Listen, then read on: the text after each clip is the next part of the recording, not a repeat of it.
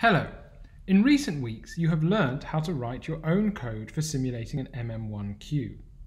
You are obviously not the first people to do this, and it will come as no surprise to you to learn that there are many Python packages that you can use to perform these kinds of simulations.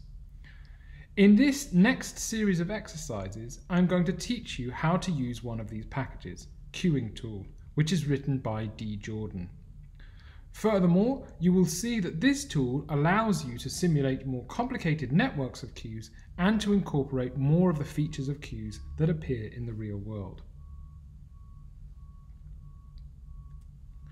Before getting on to how Queuing Tool works, let's briefly remind ourselves about the details of the MM1 queue. At the top of this slide, I have a diagram showing an MM1 queue. The leftmost arrow on this diagram illustrates the arrival of agents from the outside world. As we are simulating an MM1 queue, the times agents arrive is determined by simulating a Poisson process.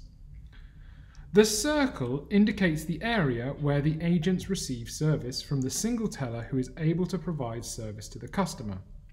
Each agent takes a random amount of time to be served. Furthermore, because we are simulating an MM1 queue, the service time is an exponential random variable. The final bit of this diagram between the inward arrow and the circle indicates the place where the queue forms. As you are no doubt aware, queues will form if agents arrive while other agents are being served by the teller. These agents will have to wait for, th for those who are in front of them in the queue to finish receiving service before they themselves get served. In the exercise that goes with this video, we will be simulating this type of queue using Queuing Tool. For the time being, however, we are focusing on analyzing the data that comes from these simulations and not the setup of the queue. In the rest of the video, we will thus focus on running the simulation with Queuing Tool and analyzing the data that is output. If you want to know how to set up the simulation, I would recommend looking at my other video on Queuing Tool. So the first step in writing a program that uses Queuing Tool is to write the code shown here to import the Queuing Tool module. Once you've imported the Queuing tool, module using a command like this one, your program is calling a function from within this module, Queuing Tool, whenever you see a command that starts with qt dot.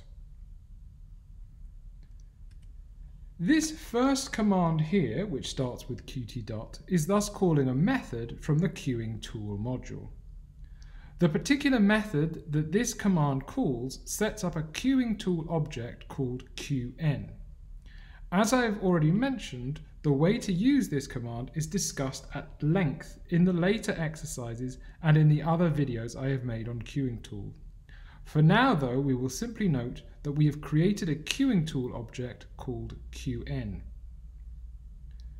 Notice that every single call in the rest of this stone code starts with qn rather than qt.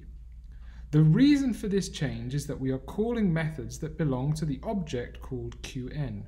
For instance, the next command that I've revealed here tells Queuing Tool that when we run simulations of the queue that was created by the second line of this program, we should um, collect data for analysis. The next command tells Queuing Tool about how people enter the queue we are simulating. Again, this command is discussed in more detail in my other video on Queuing Tool. For now, you just need to know that this command needs to be there in your code. The final command is the one that really matters for this video. This is the command that tells Queuing Tool to run the simulation. This particular command tells Queuing Tool to run the simulation of the queue for 100 time units.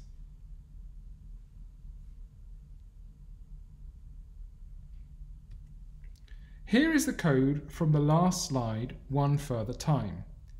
If you copy this code into the REPL exercises that accompanies this video, it should run. Nothing will be output, however. Uh, the simulation will run, but there will be no evidence, or more importantly data, that it ran afterwards. To extract information on what occurred during the simulation, you have to add a command similar to the one shown here. This command tells Queuing Tool to save the data about what occurred during the simulation of the queue, called qn, to a variable called dataOut.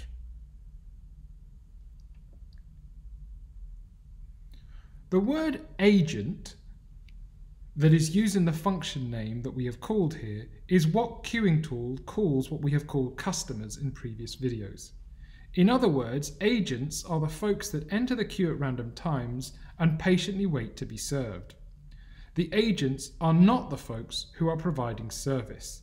The agents are the folks who are being served. The data out object that we allocate when we call this command is a type of Python object called a dictionary that we have not seen before. A dictionary is essentially a set of key value pairs. Dictionaries are a bit like the lists or arrays that we've seen elsewhere. In a dictionary, however, the keys that we use to refer to the values don't have to be numbers. In other words, a dictionary is like a list where we reference the elements using words of our choosing, such as tree, fish, or apple, rather than numbers. Dictionaries are useful, and if you want to go further with Python, you should learn how to use them. For the time being, however, all you need to know is how to iterate over all of the elements in the dictionary data out that is being set by this command. If you can write such a loop, you can get the data on each of the agents that entered the queue. You can write a loop over the agents that entered the queue during the simulation by writing a loop similar to the one shown here. The print command here will then provide information about what one particular agent did during the simulation. The information on each agent is output in a numpy array like the one shown here. There is one of these numpy arrays for each agent in the simulation, um, and each of these are output when we run this command. The first three columns in this array all contain times.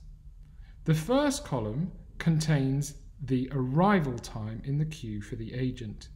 The second column is the agent's enter service time, and the third column is the agent's departure time. The next two columns contain numbers. The fourth column tells you the length of the queue when the agent arrived, and the fifth column contains the total number of agents, including the one who has just arrived, who, is, who are in the queue. You're probably wondering why there are two rows in this matrix at this point. If there is a single queue, then each agent has a single arrival time, a single enter service time, and a single departure time. As we will see in the second video on Queuing Tool, the Queuing Tool module allows us to simulate networks of queues. There are often multiple lines because there are multiple queues. Even in the simple example of an MM1 queue, there are these multiple lines because when the agent is done with service for the first queue, they leave and enter a second queue that represents them leaving the system. The final column of our numpy array here thus tells you which queue generated the data in the elements of the row. The first row in our numpy array here contains data about the zeroth queue, which is the MM1 queue um, indicated here. The second row, meanwhile, is the fake queue that the agent enters once they have been served. You can clearly see here that the agent arrives in this fake queue at the moment they depart from service in the first queue. The fact that all the four numbers after the arrival time in the second row are zero indicates that the agent does not need to queue for or receive service in this null queue.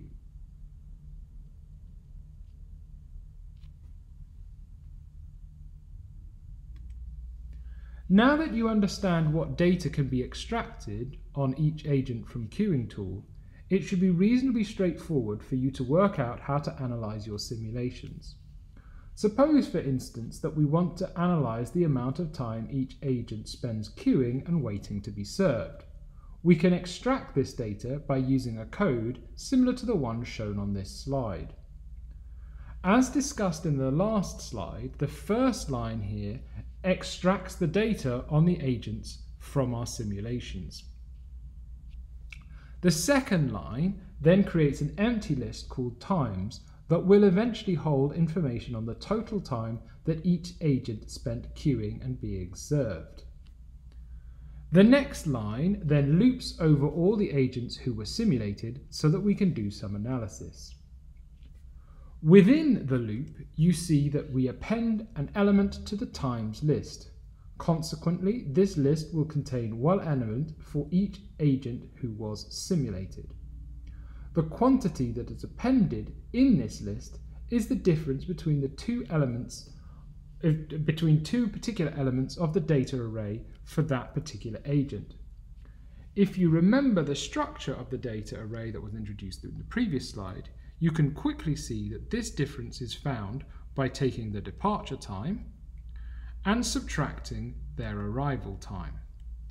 The times array thus contains the total time each agent spent in the queue and being served. Easy.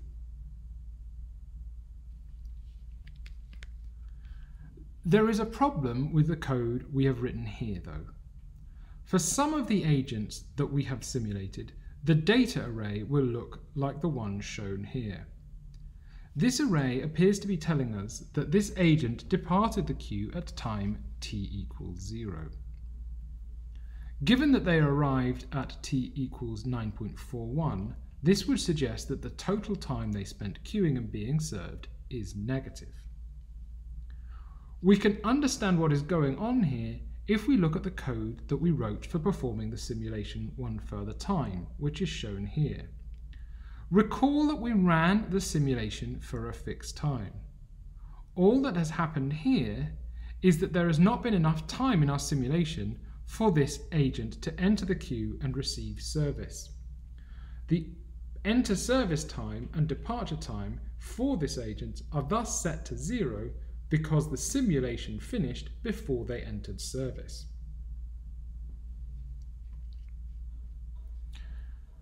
When writing our code for analysing the data that is generated by our simulation of the queue, we need to take account of the fact that some agents might not have received service yet. We can do this by adding an if statement in the code above, something like this. With this code, we are ensuring that the departure time is later than the arrival time. The, we thus avoid analysing the data on agents who did not finish getting served by the end of our simulation. Hopefully, that is enough to get you started with analysing the data that is output from queuing tool simulations. Thank you for your attention and good luck with the exercises that follow.